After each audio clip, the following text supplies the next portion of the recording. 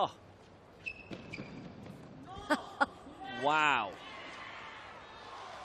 Not very smart. Should you not have dumped that one in the net?